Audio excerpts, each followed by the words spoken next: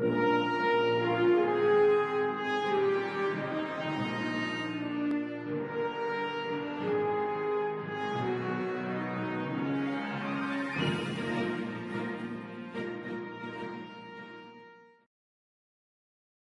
new threat to data security by Drake Interplanetary.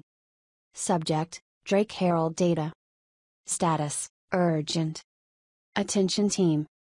Attached to this dispatch are the final specifications and 3D holo model of what you have worked all these long months to accomplish. Our Herald prototype will now enter the construction and testing phase, with a planned Q2 2945 rollout for the first sales units. On the surface, the Herald represents a significant advance in interstellar data transfer. But, as we Drake team members know, its long term implications for data interception, stream interruption, and even outright piracy are enormous.